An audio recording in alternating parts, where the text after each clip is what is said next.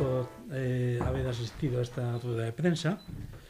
Eh, os hemos hecho una solicitud al entrar de que apaguéis los móviles, no dejadlos en espera, sino apagaos, pues porque para nosotros cuando están en espera siguen emitiendo y para personas eh, electrosensibles pues siempre les, les afecta y mucho, mucho más de lo que a nosotros nos parece. Vamos a conseguir, aunque hablamos de zonas blancas, por lo menos hoy vamos a conseguir que esto, este pequeño reducto, sea una zona blanca, por lo menos en lo que a nosotros afecta. ¿no? Y entonces empiezo ya, eh, voy a haceros la presentación de las personas que están en la mesa. Eh, la primera sería Idina Rodríguez de la Flor, viene en representación de la Organización para la Defensa de la Salud, que está integrada en la Fundación Vivo Sano y es un, un conjunto de, fundaciones que están apoyando muy fuertemente todo el tema de la campaña de escuelas sin wifi. Luego estaría Irune Ruiz, que representa, mmm, aparte de la comisión de CEN o de contaminación electromagnética de Ecologista de Nación, porque forma parte de su comisión, y de los colectivos de personas hipersensibles de la PCEN, la plataforma estatal contra la contaminación electromagnética. Cuando hable de CEN siempre será contaminación electromagnética. ¿eh? Luego también está Asunción Lasso, el representante de la coordinadora de la PCEN, esa plataforma que hemos dicho, que está constituida a nivel del Estado y que eh, tiene mm, ya muchos grupos eh, y asociaciones que la están integrando. Luego Paco nos hablará concretamente de, de unas de ellas, las de vecinos, eh, y dará también una explicación desde su punto de vista. Eh, luego estaría eh, Paco Caño, que sería el, presidente eh, o representante de la, de la Federación Regional de Asociaciones de Vecinos de la Comunidad de Madrid, eh, que también dará una eh, intervención un poco sobre el movimiento ciudadano, y yo mismo, Javier Pérez, que también soy de la Comisión CEN de la mm, Ecologista de Nación, que voy a hacer una pequeña introducción. Eh, os, ruego que las preguntas las dejéis para el final, es decir, para, para, que se puedan hacer todas a la vez.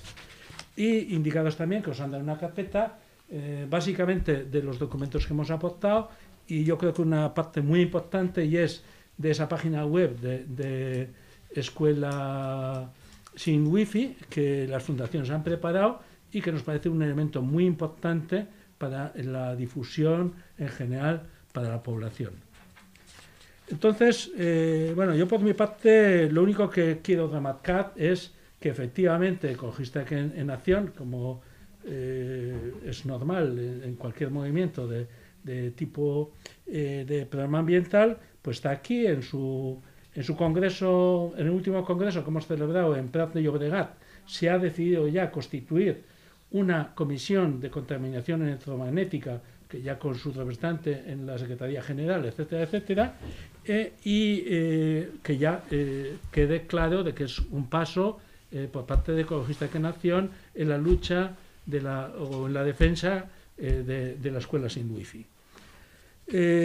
Para nosotros la contaminación electromagnética es cada vez es más central dentro de lo que es la contabilidad, perdón, la, contaminación ambiental. ¿no? El medio ambiente y la salud sufre no solo por la contaminación química y las radiaciones ionizantes, como la nuclear, sino también en las últimas décadas se ha incrementado mucho la contaminación electromagnética. Para destacar y para daros una idea, este sería un cuadro de lo que no deberíamos sobrepasar y con el paso de los años lo tenéis en la documentación. ¿eh? Eh, lo mismo que otros cuadros que os presenten otros compañeros y compañeras está en la documentación. El, el fuerte incremento a, dónde nos está llevando. ¿no? Entonces, esto que antes la contaminación iba suave, suave, ahora se ha incrementado en los últimos años de una forma espectacular en cualquier país desarrollado. Entonces, eh, también las instituciones europeas vienen advirtiendo la urgencia de aplicar el principio de precaución eh, y este es un tema que eh, mis compañeras os explicarán mucho mejor. Y por último, yo creo que indicaros que hasta ahora, igual Ecologista que Nación, lo habéis visto más actuando en, temas de antenas o en temas de transformadores y líneas de alta tensión, pero el tema de contaminación electromagnética también es muy importante para nosotros, estamos incidiendo mucho y por eso nuestra participación en esta campaña de escuelas sin wifi.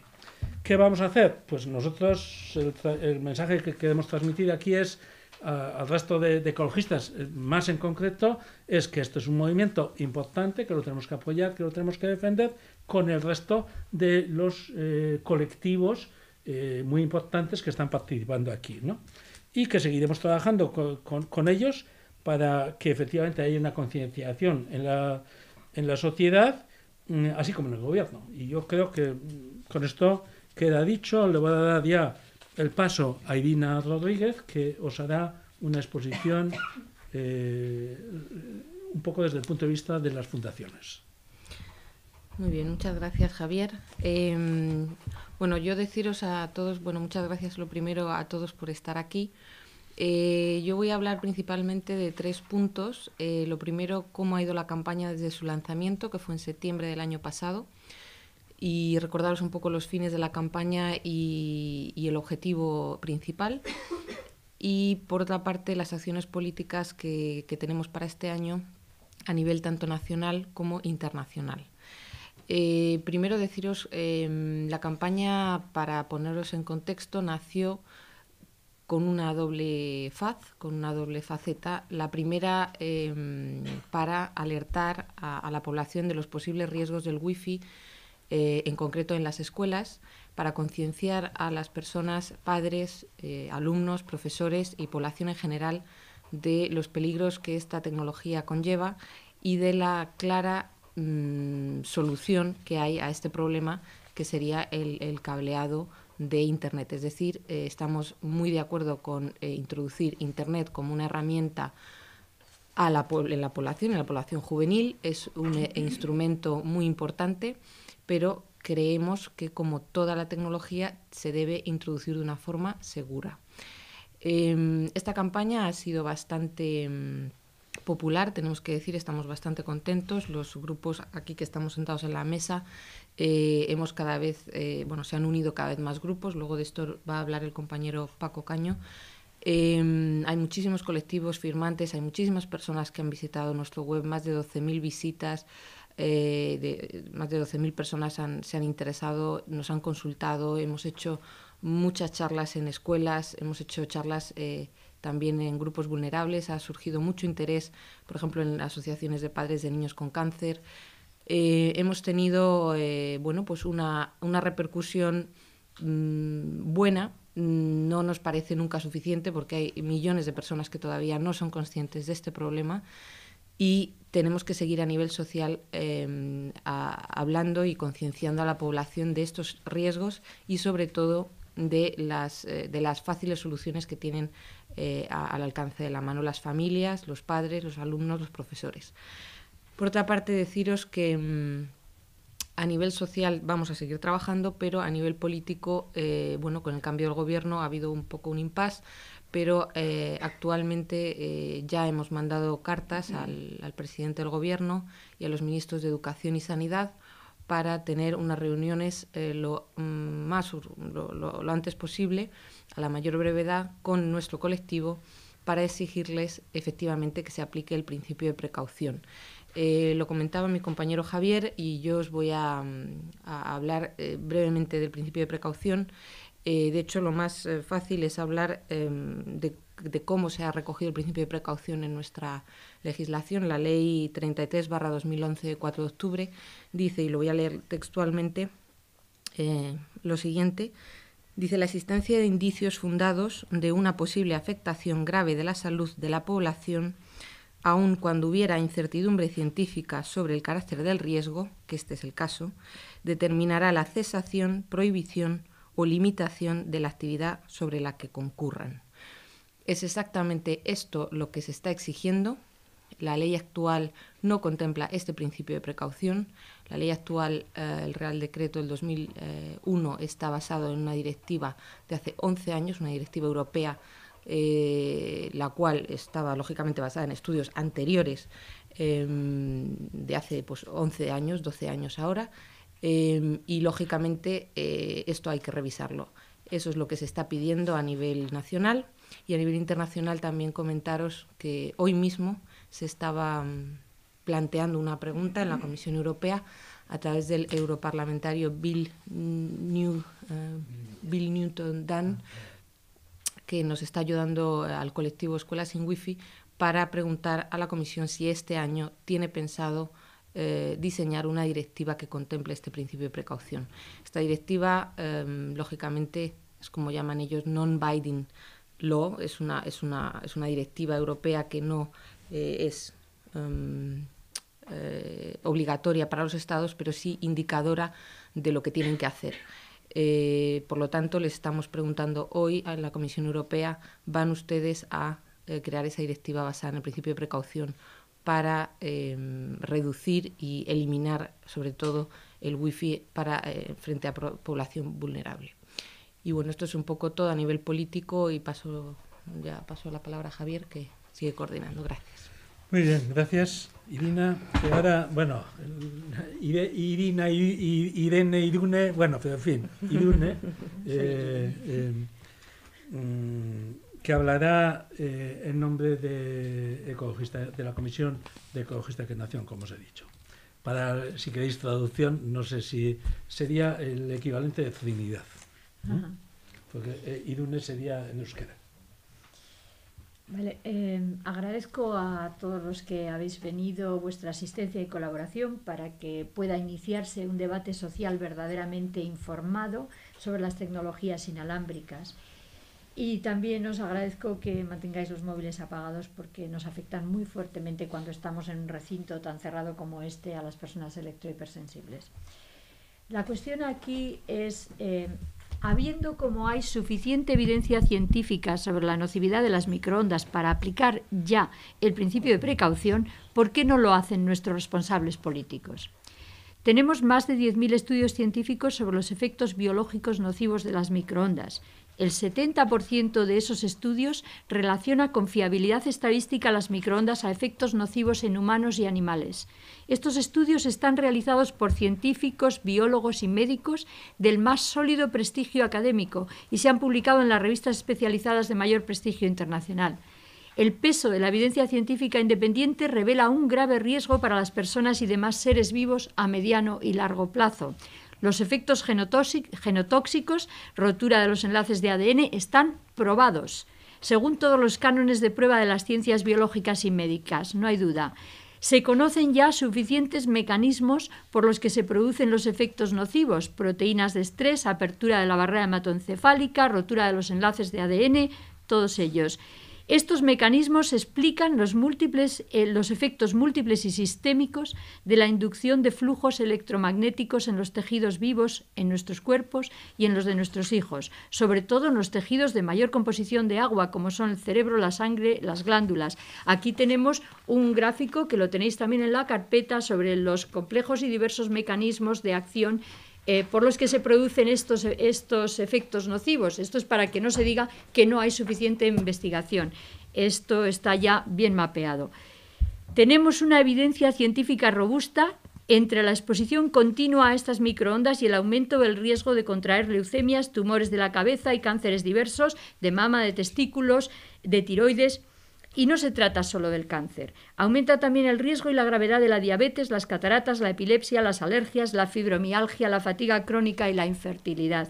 También se ha documentado su acción nociva sobre el corazón y el sistema circulatorio, taquicardia, ictus cardíacos y cerebrales, hipertensión, arritmias y su papel en el deterioro de la atención y la memoria y el aumento del Alzheimer. Los síntomas iniciales de estas patologías pues no siempre son reconocidos por las propias personas afectadas ni por los médicos a las que estas personas acuden. Son el insomnio, peculiares dolores de cabeza, de oídos, de ojos, taquicardia, cansancio extremo, pinchazos en el cerebro, vértigos, etcétera, etcétera. Cada vez somos más las personas que sufrimos estos síntomas, vemos cómo avanzamos hacia patologías más graves y quedamos marginados de la vida laboral y social. Con esta creciente problemática sanitaria y social, reconocida en los innumerables llamamientos de médicos científicos y organismos internacionales, ¿cómo es posible que las autoridades del Estado no adopten medidas para proteger a la población? ¿Cómo es posible que, en concreto con el Wi-Fi, se abandone la mínima medida de precaución que tenemos, que es no poner antenas de telefonía móvil cerca de los colegios, el principio de mayor protección de los niños y niñas. ¿Cómo puede el gobierno financiar antenas ahora dentro de los propios colegios del, del país? ¿Cómo podemos tolerarlo cuando sabemos que no existe nivel seguro alguno para la nocividad acumulativa de este tóxico ambiental, sobre todo para los niños y niñas? Este atropello del derecho a la salud y a la vida se sustenta en la supuesta controversia científica una falsa controversia creada y perpetuada por lo que la epidemióloga estadounidense Debra Davis denomina magistralmente la industria de fabricación de la duda y aplazamiento de las medidas de precaución. Sus métodos y actuaciones se desarrollaron para defender la industria del tabaco, del amianto, del benceno y de todos los tóxicos ambientales.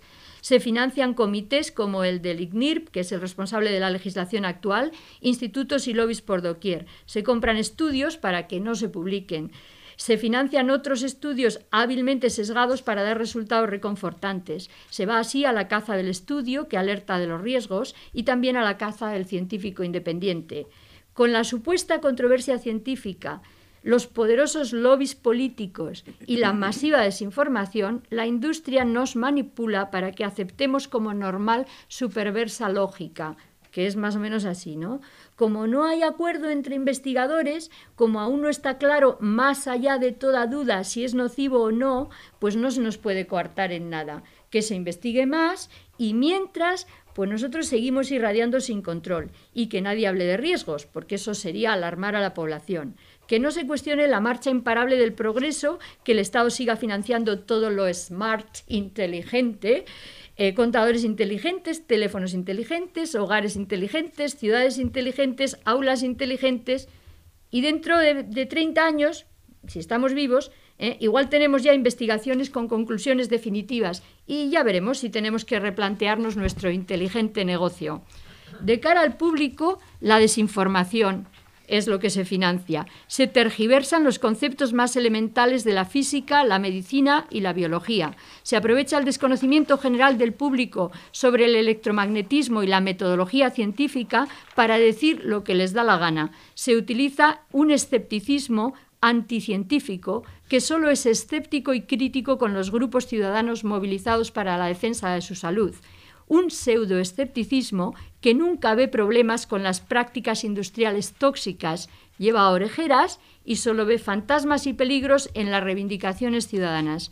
Se hace pues lo indecible para impedir que se difunda la herejía reivindicativa de la precaución, porque temen que haya un debate público informado que obligue a los, a los, gobiernos a regular su industria y a invertir en tecnologías verdaderamente punta como puede ser la fibra óptica. Por eso las personas afectadas por enfermedades graves o por el discapacitante síndrome de la electrohipersensibilidad y las patologías asociadas, fatiga crónica, fibromialgia, síndrome, eh, mm, síndrome químico múltiple, no vamos a dejar que la desinformación negacionista frene la movilización ciudadana en defensa de nuestro bien más preciado, que es la salud de nuestros hijos e hijas. Denunciamos, pues, y por eso estamos en este colectivo, que la industria y el gobierno impongan a nuestros hijos e hijas el intolerable riesgo de sufrir enfermedades graves o discapacitantes como las que hemos señalado.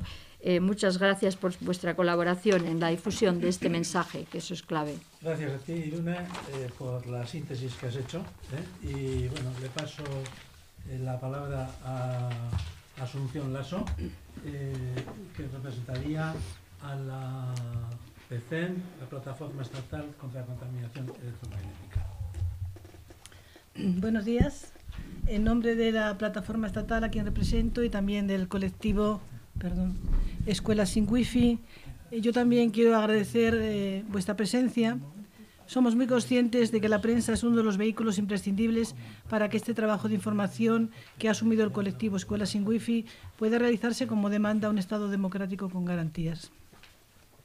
Comienzo mi exposición hablando de la normativa internacional porque eh, los ciudadanos eh, tienen la impresión de que esa normativa eh, que está ahí en vigor nos protege.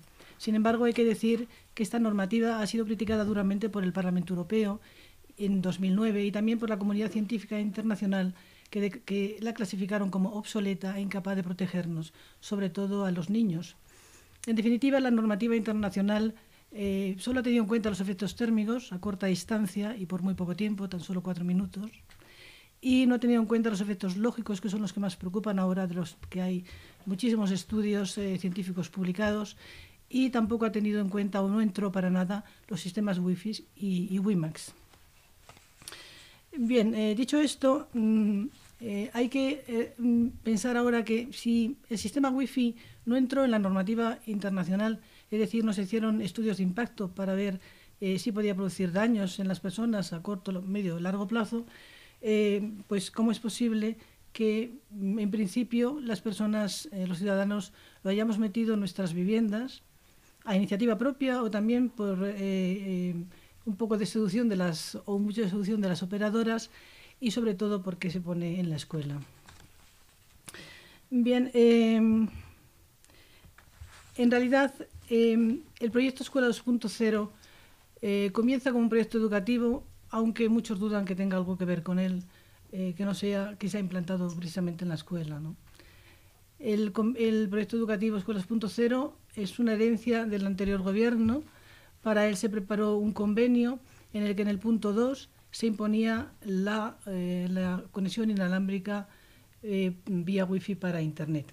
Algo que el colectivo eh, eh, Escuela 2.0 pues, ha puesto de relieve como algo mm, posible de, cambiar, de modificar, más que posible necesario, y eh, los colectivos sociales eh, de lucha contra la contaminación electromagnética llevan años ya, eh, desde que se conoció el proyecto, pidiendo que por favor se cablen en los centros. ¿Por qué se eligió el Wi-Fi para Escuela 2.0?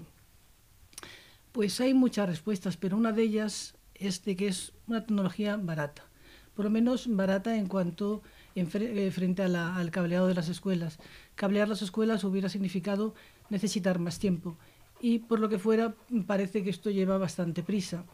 Entonces eh, estaba claro que eh, que aparte de, los argumentos de movilidad, que en definitiva van a poner en entredicho eh, la obligatoriedad en poco tiempo de tener que poner un cableado eléctrico, porque los mini portátiles eh, pierden enseguida la, la, autonomía, con lo cual eh, los que apelaban a, a la movilidad, eh, pues el argumento parece que se les cae por su propio peso.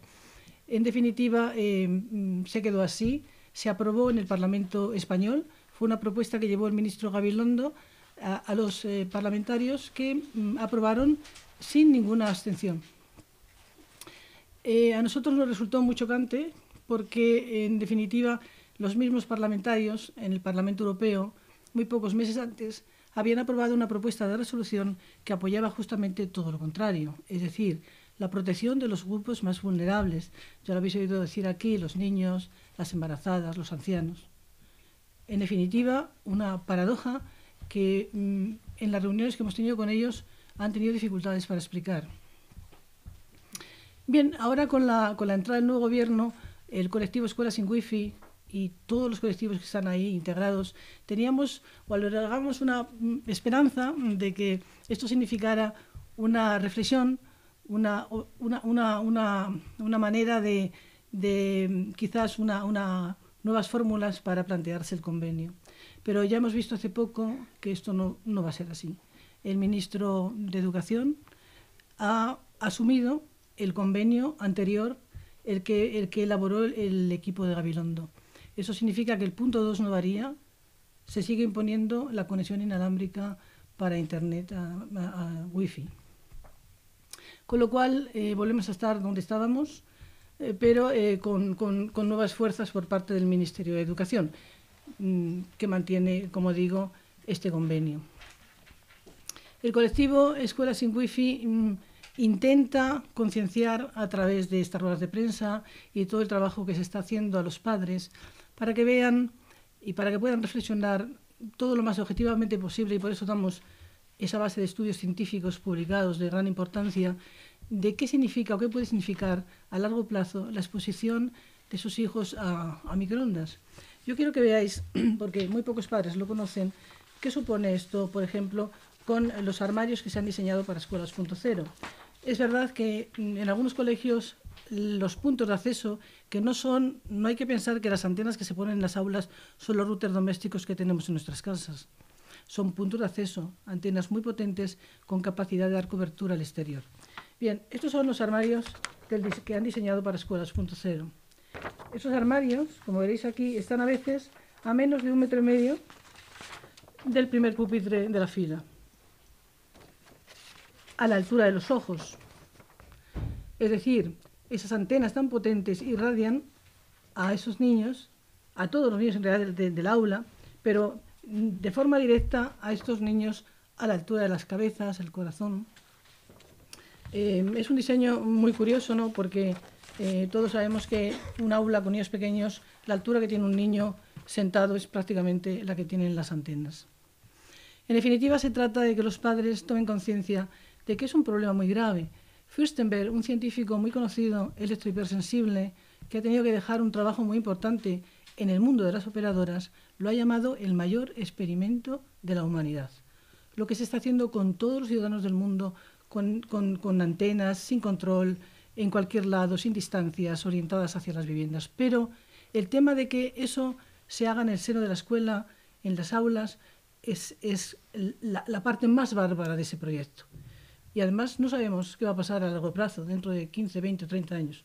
Niños que pasan en la escuela y jóvenes que pasan en la escuela tantas horas al día y que muchas veces, como extra, cuando llegan a su casa, también tienen de nuevo el sistema wifi para conexión a Internet puesto por, por sus propios padres. Todo por ignorancia, por ignorancia porque eh, aquí no se informa desde el Estado.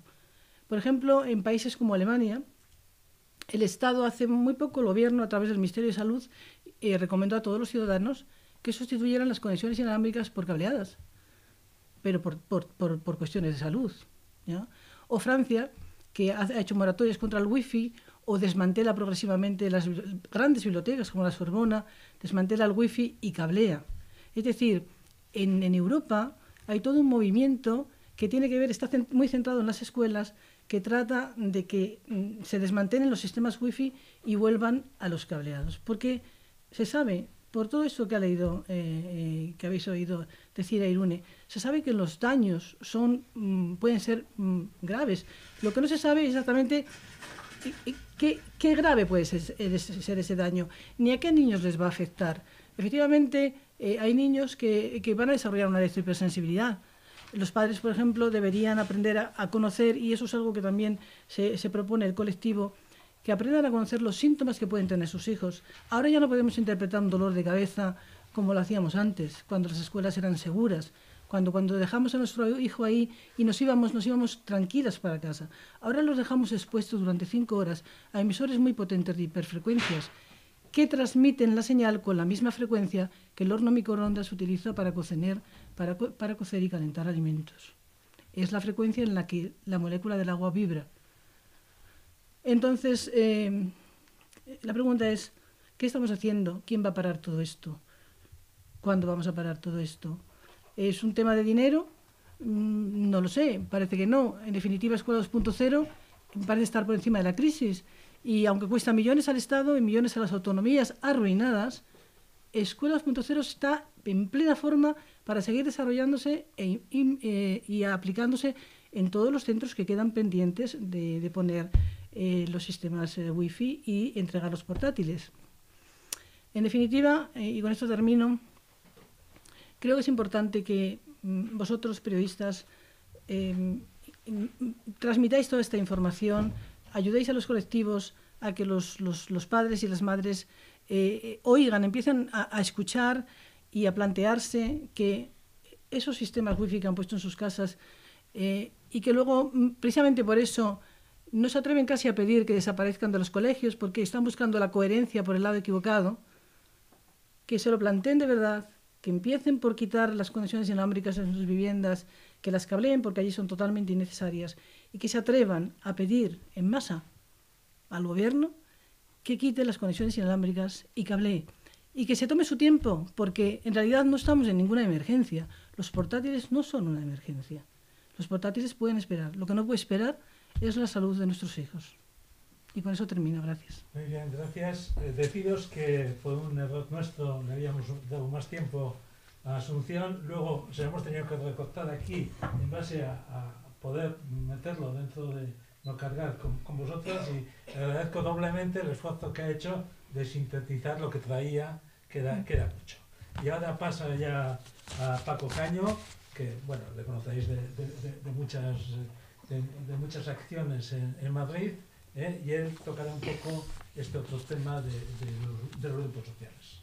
Sí, buenos días. Para mí las cosas importantes quedan dichas, quedan dichas por mis compañeros y mis compañeras que vienen desarrollando un trabajo eh, importantísimo en el campo de enlaces con personalidades, con políticos y sobre todo en el campo de asesoramiento.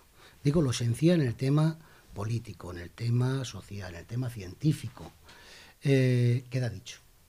Por lo tanto, no voy a hacer, mm, eh, no voy a redundar en muchas de las cosas que, que se han dicho aquí. Solamente señalar varias pinceladas. El tema contra las radiaciones electromagnéticas nace por parte del movimiento vecinal, el movimiento ecologista y otros movimientos por ahí hace bastante más de 25 años, cuando se pedía que se retirasen los cables de alta tensión, los centros de transformación dentro de las viviendas y un largo etcétera de este tipo.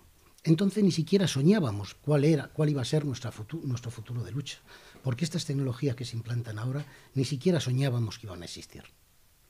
Desde entonces aquí han cambiado mucho los acontecimientos, han cambiado demasiado. Las nuevas tecnologías eh, nos han invadido, en parte para bien, en cuanto a los medios de comunicación, a la información real y un largo etcétera, y en cuanto al tema de la salud, se han implementado sin ningún tipo de control, de control por parte de las administraciones políticas, administrativas, a todos los niveles. Sí es cierto que se ha creado una controversia, como ya se ha dicho, una controversia científica en la cual yo no voy a, yo no voy a dudar. Una más interesada y otra más independiente. Esto es obvio, pero desde entonces hasta aquí, ¿qué es lo que hemos hecho las organizaciones? Seguir peleando. Nuestra, nuestra lucha no se ha abandonado nunca. Mirar desde la Confederación Estatal de Asociaciones de Vecinos, más de 3.000 organizaciones, la propia Federación de Madrid, cerca de 270 asociaciones, con colectivos de gente bastante, bastante interesada y bastante importante por estos temas. Organizaciones como Abatir, las peleas que ha tenido en Valladolid, las organizaciones como Ecologistas en Acción, con una red extensa en todo el territorio español. No han cejado de pelear por esto. ¿El resultado ha sido visible? No. Yo sé que vosotros que estáis aquí redactaréis algunas cuestiones para vuestros periódicos y vuestros redactores jefes o vuestros jefes editoriales dirán lo que se publica y lo que no. Porque es incompatible poner dos páginas diciendo compre usted este smartphone, este Blackberry o este no sé qué, y decir, oiga, que esto mata. Nosotros no pretendemos crear alarma social en absoluto. Pretendemos únicamente poner las cosas en su justo, en su justo sitio. Y hoy decimos que somos un montón de colectivos que representamos. Ojalá que todos, todos, los, todos, los, todos, los, todos los asociados que tenemos fueran activistas. Si fueran activistas todos los asociados, hoy en día este, esta correlación de fuerzas con los lobbies habría cambiado pero evidentemente nuestros propios asociados tampoco están concienciados de esta, de esta situación. En parte, la responsabilidad mayor es de quien le compete, que son las administraciones públicas que no informan adecuadamente, y en parte el resto de la sociedad, nuestras organizaciones, los intereses creados por parte de los medios de comunicación, de las televisiones, etcétera, y un largo etcétera. Nosotros creamos la plataforma, todos los colectivos que estamos aquí y algunos más que no están, más de 70 organizaciones que agrupan a cerca de 4.000 a, a 4.000 asociaciones y más de un millón y medio de personas asociadas, afectas a todo esto. Me parece que, eh, que somos eh, muchos, aunque no todos estemos trabajando en la dirección. Y en eso estamos. Es decir, esta pelea es de largo alcance. ¿Cuál es el problema? El problema es que cuando alguien choca contra una antena o cuando, alguien choca contra una fuente potente no cae muerto instantáneamente. Ese es el problema. Podremos ver el ejemplo de cómo se ha reducido el, índice de muertos en las carreteras. Habrá habido una controversia en cuanto a la velocidad, en cuanto a los índices de alcoholismo, de alcoholismo porque había causa-efecto relacionado y enseguida se ha acabado. Lo del tabaco, lo del amianto y un largo etcétera cuando se ha localizado la causa-efecto. En esto a nadie le interesa investigar profundamente y localizar la causa-efecto. Objetivos de la plataforma. Primero, el reducir los índices permitidos, eh, de, permitidos por la ley. Más de 4.500 eh, esos son los, los, genéricos. El fundamental y el principal, proteger la, la, salud y el libre desarrollo de nuestros menores en las escuelas, en las bibliotecas, etcétera, etcétera. El wifi en las escuelas tiene que ser por cableado. Este es el urgente y el, y el necesario. Y el, y el, objetivo general, reducir los índices de, de emisión eh, por debajo del 0,1 microvatios por centímetro cuadrado. Muy bien, Paco, muchas gracias por tu intervención. Ahora, cualquiera de vosotros si quiere hacer cualquier tipo de pregunta, sí. Sí, yo, eh, a ver si me podéis ayudar a entender un poco la parte técnica. Reconozco mi ignorancia, pero yo uso un móvil, pero no me pierdo con, esta opción, no he tenido mucho tiempo por lo que estaba atendiendo, pues los gráficos, las partes Pero, pero, ¿qué es lo que quieres entender del móvil? Los gráficos en concreto. No, ¿qué, ah. ¿de qué tipo de ondas? Es la más básica, la infantil. ¿De qué tipo de ondas estamos hablando? Porque... Estamos hablando de radiofrecuencias de microondas en, en el rango de radiofrecuencias que se les llama microondas, que son aproximadamente mm, en su mayoría, aunque ahora hay que añadir las frecuencias digitales también de, de, la digitalización de la radio y la televisión, pero en su mayoría estamos hablando desde los 800, 900 megahercios de los primeros sistemas de telefonía móvil a eh, los últimos sistemas que van por 1800, 1900, de los teléfonos inalámbricos que tenemos en las casas que emiten 24 horas, también eh, de, los, de los sistemas de UMTS, 1800, 1900, y del Wi-Fi, del horno de microondas que llegan a 2400. Entonces, sí. Sí. Toda esta información, la, la, tenemos en web. ¿eh? Sí. sí. Vale. Entonces, estos son radiaciones, porque Son radiaciones artificiales, ¿eh? o sea, muy diferentes de las naturales a las que el cuerpo de los seres vivos ha estado acostumbrado durante millones de años, eh, por lo cual no podemos adaptarnos con esta rapidez. Son artificiales y son eh, realmente de una potencia millones de veces superior a las radiaciones naturales, que son distintas, que ya digo que son, son, no tienen esa forma de onda digitalizada, no llevan información y no tienen efectos nocivos en las células, porque además hemos, eh, nos hemos desarrollado biológicamente como especie con ellas y estamos adaptados. Las radiaciones naturales del Sol, las radiaciones naturales de la Tierra, son del nivel de, la, de, de 10 a la, a la menos 9, ¿eh? De o sea, de millones y millones de billones de, unidades por debajo de las radiaciones que estamos recibiendo ahora en el medio ambiente ya. O sea, no de las permitidas, ¿eh? que son 1000 o 450, sino de las reales, de las que tenemos en las ciudades, que pueden ser como máximo un microvatio centímetro cuadrado. Entonces, estamos realmente eh, asediados, impactados en toda nuestra biología por unas radiaciones a las que el cuerpo humano jamás eh, se había visto enfrentado, en unas potencias eh, inusitadas totalmente, o sea que son como millones de veces superiores a la radiación natural de la Tierra, a la radiación del cosmos de la que nos protege la ionosfera. Por eso los astronautas llevan los trajes espaciales, ¿eh? porque no podrían estar sometidos a esas radiaciones. Y realmente se ha comprobado que, que son nocivas. Estas radiaciones tienen su origen en el radar. O sea, se inventaron con el radar eh, a través del Megatron, que es un aparato eh, que produce estas frecuencias, eh, se, se, empezaron a utilizar para detectar objetos en el radar en la Guerra Mundial, años 30, para la Guerra Mundial ya estaban desarrollados. Y allí se empezó a ver ya su efecto nocivo. O sea, se empezó a ver que los operadores de radar empezaban a tener leucemias, fatiga crónica, dolores de cabeza, tumores cerebrales, y algunos países dijeron, bueno, es más importante ganar la guerra y que vayan cayendo no importa. Y otros, por ejemplo, en este caso la Unión Soviética, que no es ejemplo eh, de humanidad en otras cosas, pero en este sí que tomó nota y tuvo unas medidas de precaución mucho mayores con sus operadores de radar que se tuvieron en Occidente, donde la cuestión era que no, que no se hable de nada nocivo, esto solo calienta y no tiene ningún efecto biológico. Pero la realidad es que los efectos biológicos se conocían ya y había investigaciones que se han ido acumulando en los últimos 60 años bueno, 70 realmente desde los años 40, sobre la nocividad de estas radiaciones. El concepto Eh, general... Perdona, un segundo solo. Sí. Eh, voy a darle paso a Irina para que concrete un tema que os pueda servir para todos, el tema de Be- Bealia. Ah, de Bealia, sí, no, deciros solo que esto se está grabando y que vais a tenerlo también en, eh, en el web, en escuelasinwifi.org desde mañana. Eh, solo una cosita del espectro electromagnético, para, lo ha explicado muy bien Irune, pero para que os hagáis una idea, la- el espectro electromagnético es como, como un, como un arco iris, ¿no? Como se representa, la luz visible está en el centro, hacia la derecha tenéis las radiaciones no ionizantes, perdón, ionizantes y a la izquierda las no ionizantes. A las derechas, las radiaciones ionizantes, para que os hagáis una idea, son la radiación nuclear, que separa el, el- el átomo de, de las células, o sea, tiene, y ya están demostrados los efectos, por eso los rayos X, la radiación nuclear, ya sabemos los efectos tan, tan tremendos que tienen, y la radiación no ionizante, eh, las microondas pertenecen a ese grupo eh, y está prácticamente entre la luz visible y eh, las ondas eh, de radio y televisión em, no digital. Lo puedes ver eso perfectamente en el web. Sí, ¿más preguntas? Sí. Eh, habéis definido la longitud de onda. eh, y luego...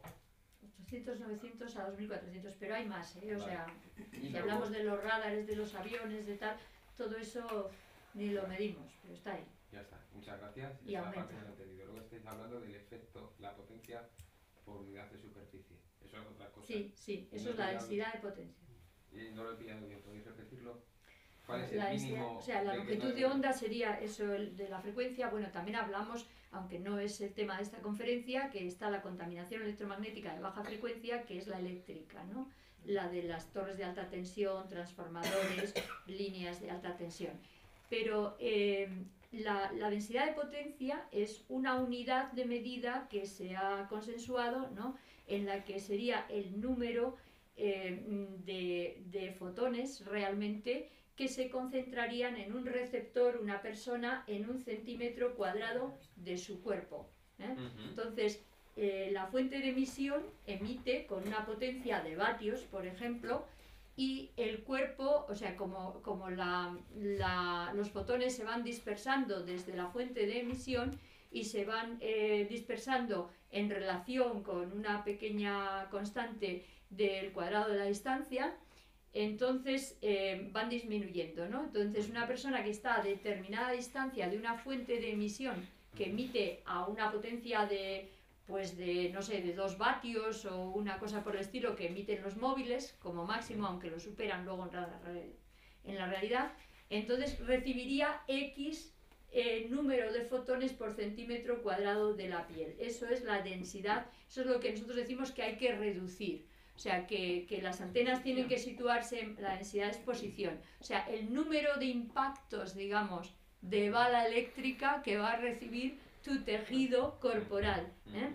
por, eh, por centímetro cuadrado de tu cuerpo con la frecuencia que sea, según sea la frecuencia de emisión, puede ser de tu móvil, del wifi, del otro. Pero ¿cuántos? ¿Cuántos por tejido el cuerpo? Y que, y que la ley permite, la ley española permite 450 microvatios por centímetro cuadrado y la recomendación de la Unión Europea es no superar 0,1 microvatios por centímetro cuadrado. Ah. Es decir, 4.500 veces menos. Bueno, esos 0,1 aún, o sea, no te garantizan nada. Los electrosensibles, por ejemplo, no podemos vivir con 0,1. Ya, pero solamente ya ese dato es Sí, y el Parlamento, y incluso la- los estudios más importantes, como el estudio BioInitiative, que es una recopilación de 2.000 estudios científicos de los más, eh, de los más prestigiosos, eh, y llega pues a, a pedir una medida de precaución provisional.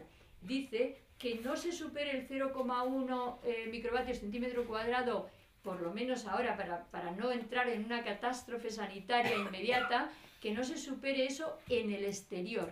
Pero en el interior, en las casas, en los recintos cerrados, que no se supere incluso el 0,01. 10 veces o sea. Y luego hay ya, pues, o sea, grupos de, de reivindicativos que, por ejemplo, el Instituto de Baubología de Alemania y tal, que incluso está hablando ya de niveles de 0,0001, porque los estudios científicos documentan efectos nocivos como insomnio, cambio en, en las, en, en electro, electrocefalograma, cansancio, problemas de vista, eh, problemas eh, de inmunológicos en la composición de la sangre y tal, con niveles incluso de 0,0001. ¿eh? O sea que estamos ante, ante decir, vamos a pedir como mínimo que la dosis de arsénico no supere, pues no sé, una cucharada al día, aunque sabemos que eso también es malo. Pero que la realidad es que tendríamos que pensar si esta tecnología puede sustituirse por otra y de hecho hay investigaciones y hay posibilidades. ¿Eh? Se está hablando de la transmisión de los datos por la luz, que la luz tiene la ventaja de que no penetraría dentro de, nuestra, de nuestro cuerpo como esto penetra, que penetra dentro de todo el cuerpo y atraviesa todas las células. Porque vamos a ver, si atraviesa las paredes y tienes aquí señal de móvil, ¿cómo, vas, cómo no va a atravesar los huesos del cráneo, todo tu cuerpo ¿eh? y afectar a todos los tejidos y órganos? Eh, solo por centrar igual el tema, no sé si siempre oiréis a las autoridades hablar de que cumplen con la legislación. Nunca les oiréis decir eh, de que preservan eh, en, la salud. ¿eh? Siempre dirán, no, cumple con la ley. Pero ya sabemos cómo está hecha esa ley. Más preguntas, por favor. Yo quería apuntar aquí una ah, cosa que creo que es importante. hay que relativizar un poco esta, esta, esta consigna que, tienen los gobiernos de, bueno, tenemos la normativa, como os decía, luego los países han legislado un poco a su manera, por ejemplo, España en el 2001, cuando ya había hablado, eh, eh, cuando ya había, los expertos habían hablado y habían dicho que el 0,1 era más que, de sobra, para recapitular un año más tarde y decir que no, que el 0,1 no era, no era suficiente para personas sensibles. Entonces, en España sale esta normativa que baja a la, mitad lo que la internacional, la internacional permitía. Pero hay otros estados que han hecho otras cosas.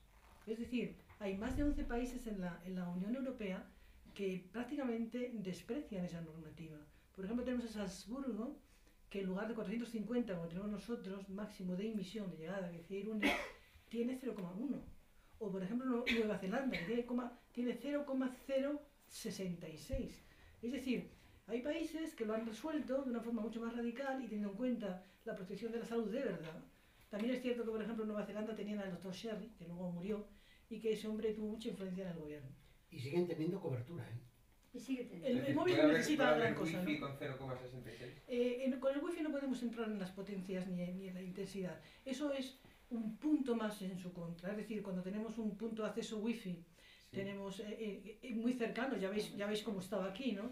Y tenemos además, que eso es lo que, que yo creo que los padres en eso no piensan, ¿no? tenemos un portátil.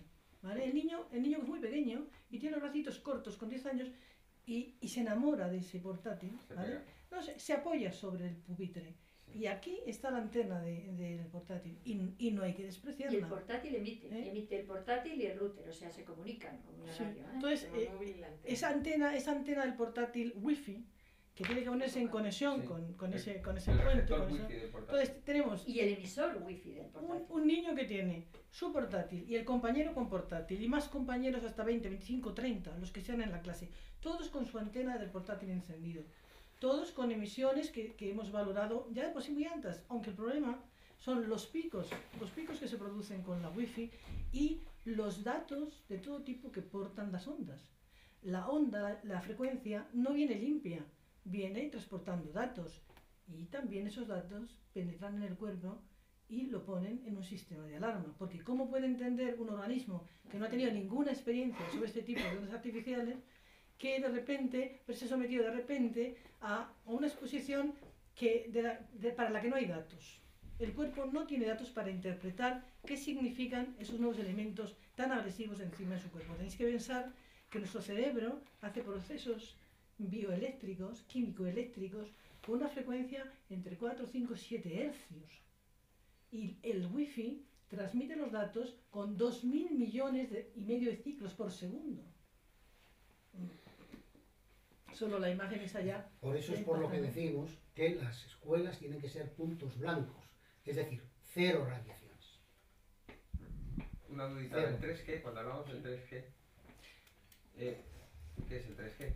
Oye, perdonadme que sí, sí. tantas preguntas. Mira, es, es una frecuencia más alta ¿eh? para transportar mayor, mayor cantidad de datos y de hecho hay investigaciones, el famoso investigador de la Universidad de Viena, doctor Alcofer, que eh, fue el que realmente bueno, concluyó la demostración de los efectos genotóxicos de las microondas, o sea, de que rompen los enlaces de ADN, eh, ha llegado a la conclusión y tiene eh, publicados eh, trabajos sobre ello de que la tercera generación, o sea, las, las últimas eh, frecuencias, o sea, los últimos, los últimos rangos de frecuencias más altas que se están utilizando, afectan todavía más poderosamente, con efectos negativos, al cuerpo y se producen los daños antes y con mayor intensidad. O sea que tendríamos que tener eh, muchísima más precaución incluso con las nuevas tecnologías. Y de hecho nosotros, eh, las personas electrosensibles, yo eh, presido una asociación de electrosensibles en Euskadi y tenemos gente de verdad cuyas vidas están destrozadas y bueno, yo soy electrosensible, pero como quien dice, un poco comparando con esa gente, eh, lo, que, lo que vemos es que cuando entra una persona en un recinto cerrado con un móvil de los de antigua generación, porque muchas de estas personas incluso lo perciben como daño, ya les duele, ¿eh? Se nota algo, pero cuando entra un BlackBerry o un iPhone, entonces es ponerse a correr de inmediato. Eh, hay gente que ya tiene pinchazos en la cabeza, que siente el golpe, que empieza a sentirse mal, la taquicardia en el corazón y tiene que salir. ¿eh? Y tiene que salir. O sea, es fortísimo. Como te dijo, las primeras generaciones empezaban en 800, 800 megahercios. 900 megahercios y ahora estamos en 2400 y más. Tres, es que el estos 3G smartphones y el de 4G, iPhone el 4G también. y el se está 4G, entonces son ondas electromagnéticas en Son ese igual, rango de pero microondas, Una, pero una un vibración mucho más rápida. Más rápida. o Sí, sea, el espectro de onda, o sea, la, la, Sí. fre- mucho la frecuencia es el 800 número de ciclos que completa la onda por, segundo. La luz visible ya va más y, Correcto. y la Pero la luz visible tiene otras características que no Esto es física penetra. de séptimo EGB, pero es que... No, no, No, no, pero, pero no te olvides que no se puede comparar con la luz visible porque para la luz visible hemos evolucionado, hemos evolucionado con ella. La necesitamos. O sea, de hecho, una persona aislada de la luz no puede desarrollarse bien, se quedaría ciega, ta, ta, ta. Bueno, la luz visible, el- nuestro cuerpo tiene mecanismos para saber qué, qué, qué es lo que trae esa luz y qué mensaje le lleva.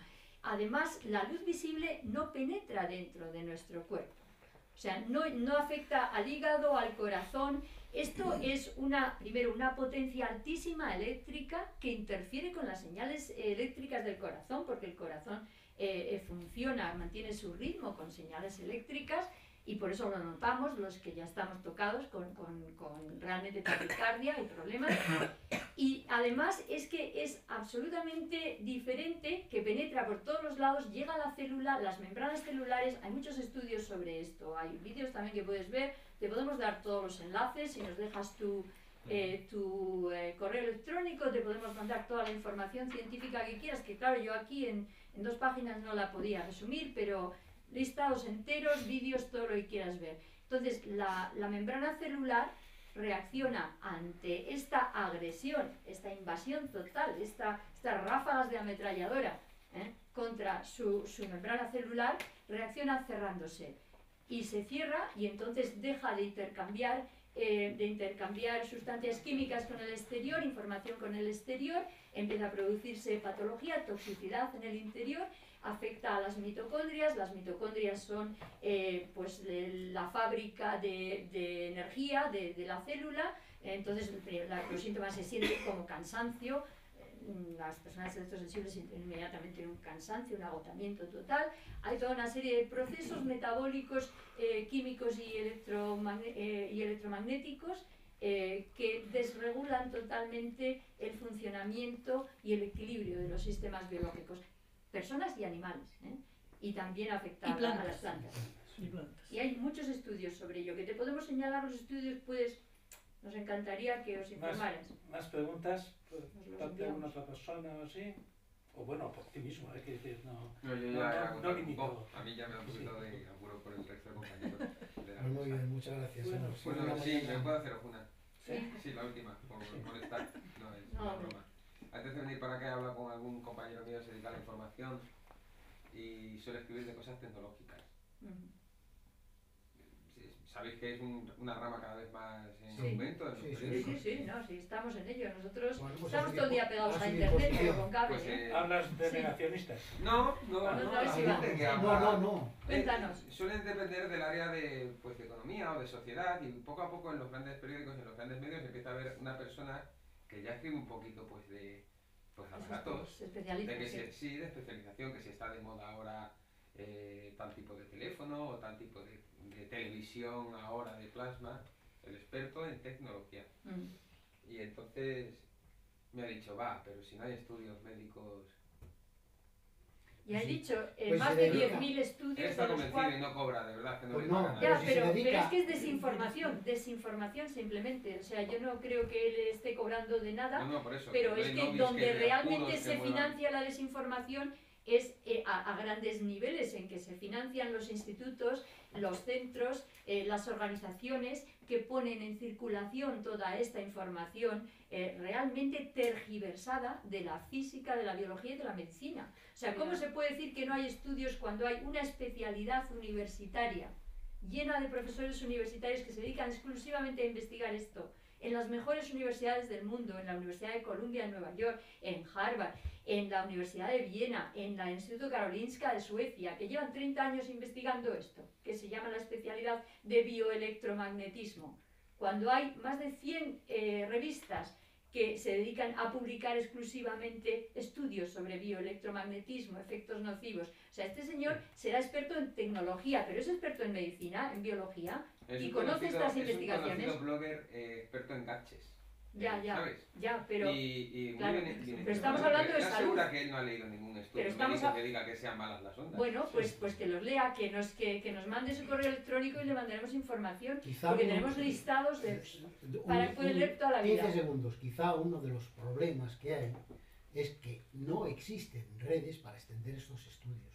Es decir, yo también tengo muchos, muchos o unos cuantos amigos y conocidos que han salido de facultades como telecomunicaciones, de ingeniería de distinto tipo y tal, los hijos y compañeros míos y tal, que efectivamente dicen que eso no está demostrado porque no existen estudios. ¿Por qué? Porque, hombre, hay determinadas hay determinadas eh, facultades que se dedican a enseñar eso, todo lo contrario. Pero sí que existen estudios científicos.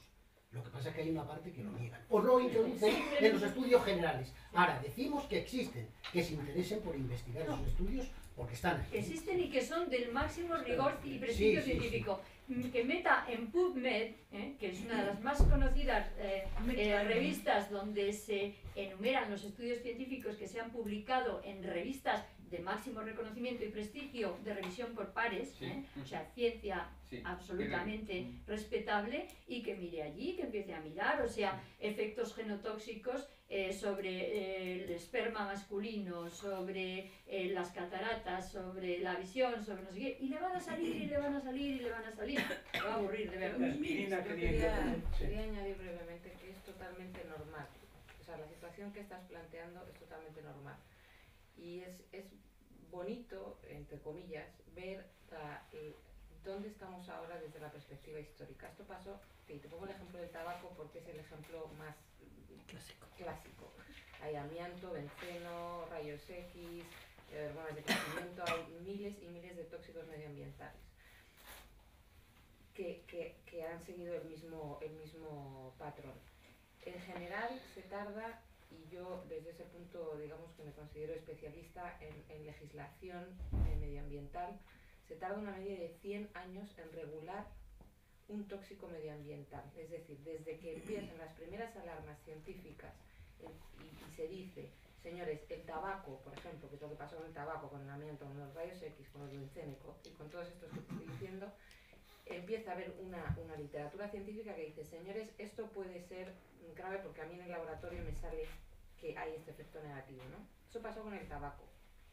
¿Y qué pasó? Que la, la situación es exactamente igual que la de hoy en día, con peores consecuencias que ahora te, te- te enumero brevemente. ¿Qué pasa? Empieza a haber evidencia científica y se empieza a tapar, porque no conviene, porque la industria es muy poderosa, la industria además trae dinero a los gobiernos y por desgracia hay un, un gran eh, link entre, entre la economía y la industria, por lo tanto, que trae dinero, y mm, el bienestar, entre comillas, de un Estado. Entonces los gobiernos empiezan a ser, no ser totalmente objetivos y a tener cada vez más presión de la industria. Queriendo los gobiernos proteger a su población, queriendo los gobiernos eh, hacer su papel de protector y de, y de, representante del pueblo, tienen mucha influencia y mucha mmm, todavía, eh, digamos, a, hoy en día y hace 100 años igual, eh, pues efectivamente influencia la industria diciendo espera a que todos los científicos digan que el tabaco produce cáncer. Entonces, cuando el tabaco ya produce cáncer, ya se legisla. Eso ha pasado, como te digo, en, en cientos y cientos de tóxicos medioambientales, sean de carácter químico o físico. Ahora se está hablando del amianto. El otro día yo estaba en un, en un congreso que pasó en el, que tuvo lugar en el Colegio de Abogados de Madrid y ahora se decía que el pico más alto de personas afectadas por el amianto viene entre ahora y el 2017. Y esto ha pasado hace 70 años. Hace 70 años ya había científicos diciendo el amianto produce cáncer. El amianto produce cáncer. De hecho, la primera persona que lo dijo fue en 1893. Fue una señora en una fábrica en Londres mmm, que, que, estaba estudiando las partículas de amianto. Y ahora, un, más de casi 140 años, se tiene el pico más alto. ¿Qué pasa? Que con todo esto lo que ha pasado es que la legislación a nivel internacional ha dicho, señores, por eso llamamos y apelamos al principio de precaución. Está diciendo, señores, no hace falta que todos los científicos digan que es totalmente, o sea, que es totalmente certero el, el, el, efecto entre el tabaco y el cáncer, o entre el amianto y el cáncer, sea de pulmón o de lo que sea, eh, para poner medidas de seguridad. En cuanto haya un poco, un poco, y estamos ya hablando de 10.000 eh, estudios científicos, no estamos hablando de dos, de evidencia científica de un posible riesgo, ya debemos retirar esa tecnología. Pero hay mucha, muchos intereses, entonces es normal que tu compañero no lo sepa, es normal que la gente no lo sepa. Y, y, y es solamente gracias a vosotros que vamos a poder llegar a la sociedad. Además, además ¿por qué crees que, que la IARC, que es la, la Agencia Internacional de Investigación sobre el Cáncer, eh, organismo dependiente de la OMS, dedicado a la clasificación de los tóxicos ambientales, que siempre arrastra los pies y hay que convencerle más allá de dudas para que clasifique como tóxico algo. Ya había clasificado las radiaciones electromagnéticas de baja frecuencia, o sea, la contaminación eléctrica, como posible cancerígeno 2B en el 2001 y ha costado 10 años ¿eh? obligarle, ¿eh? obligarle científicamente con las pruebas ¿eh? a que clasifique también, como lo ha hecho en el 2011, las radiofrecuencias de microondas, todas en general, incluido el wifi, como posible cancerígeno 2B. Ese cancerígeno 2B que aquí nos tratan de decir, ah, pero bueno, ahí está también el café. El café no, el ácido cafeico, que sí que produce cáncer de la vejiga en determinadas concentraciones, y está también el plomo, el benceno, el DDT y el virus del SIDA. Entonces, vamos a ver, o sea, si todos reconocemos que el plomo ha habido que quitarlo de la gasolina, que todo eso, o sea, eh, estas, estas agencias internacionales siempre van a la zaga de todos los estudios, siempre reconocen cuando no les queda más remedio, porque tienen también la fuerte presión de los lobbies y las fuertes presiones políticas, no vayas a afectar a esta industria, no vayas a hacer esto, no, no puedes hacérmelo ahora, ¿eh? y lo ha reconocido. Cuando lo ha reconocido es porque hay ya un cúmulo de estudios científicos irrefutables que apuntan a un, a un peso eh, total de la evidencia científica que ya hace que hasta estos organismos mastodónticos y lentos se tengan que mover. Lo mismo el Parlamento Europeo. Cada vez que ha hecho una resolución, o el Consejo de Europa ha hecho una resolución, esa resolución ha ido precedida de un comité, de una comisión de trabajo, de un grupo de trabajo presidido por un relator que ha llevado a cabo un análisis de todas las investigaciones científicas, más de 2.000 o 3.000 que se consideran las más reputables, y ha llegado a la conclusión de que no les queda más remedio que decir a la población que esto tiene un riesgo, que tiene un riesgo cierto y que además hay que informar a la población sobre los riesgos, que es lo que dicen todas las resoluciones del Parlamento Europeo y del Consejo de Europa que los gobiernos tomen medidas, que bajen los niveles, que protejan a los niños, que den prioridad al cable y no al wifi en las escuelas, cuando en realidad en el proyecto de resolución decían incluso que prohíban el wifi en las escuelas, y los teléfonos inalámbricos y el uso del móvil, pero luego por componente política, por necesidad de que todos voten, de que se consiga el máximo consenso, ¿eh? porque fue por consenso prácticamente total la mayoría de estas resoluciones, había como 500 a favor y 19 en contra y 8 abstenciones y cosas así, y en el Consejo de Europa fue por consenso total, ¿eh? para conseguir ese consenso se rebajó la petición a que se dijera solamente que dar prioridad al cable en las escuelas y dar prioridad y, controlar el uso de los teléfonos móviles y los teléfonos inalámbricos. Ya está diciendo bastante. Pensemos cuál, cuál es el proceso político de negociación que va frenando ¿eh? lo que llega de la investigación científica y modulándolo de acuerdo con las necesidades de crecimiento, eh, componentes políticas y todo lo demás de la sociedad. Pero ya estamos ahí. O sea, ¿quién puede ya cuestionar esto? Cuando ya los organismos internacionales, los organismos europeos, nos lo están repitiendo. ¿eh?